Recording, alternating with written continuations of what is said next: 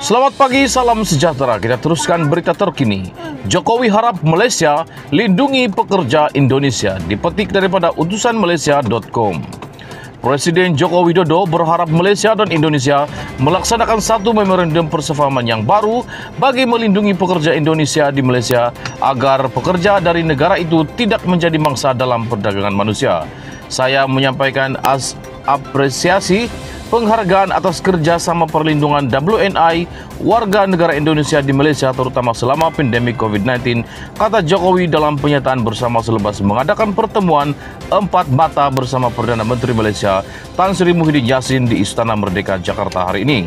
Menurut Jokowi, kedua-dua negara perlu membangunkan satu saluran atau sistem khusus berkaitan penempatan dan pengambilan tenaga kerja dari Indonesia.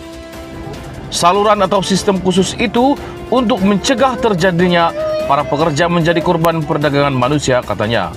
Pada pernyataan bersama itu, kedua-dua pemimpin juga sependapat dalam isu mengenai Myanmar, isu kelapa sawit, Laut Cina Selatan, dan usaha meningkatkan lagi kerjasama perdagangan dan perlaburan. Sekian berita sila layari utusan Malaysia untuk mendapatkan berita yang lengkap. Kita jumpa lagi. Selamat pagi, salam sejahtera. A like would be appreciated. And don't forget to subscribe.